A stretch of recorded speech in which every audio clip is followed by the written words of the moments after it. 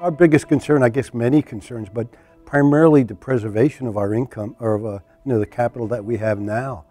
And uh, to try to get some kind of a monthly income that could support what we're already doing. When we were young and trying to build our nest egg for retirement, I, I didn't envision it uh, uh as we see it. I thought maybe once you have that, that's a certain amount, that principle, you know, you don't have, you just sit back and you, you don't have to worry about it. You have to worry about it now. I mean, with our world and our economy as it is today, oh, yeah, yeah, we have to put some other things in place to preserve that. The markets scare me. They, they scare me now. They've scared me for a few years, and uh, uh, the alternatives that are out there, and that's why I'm here.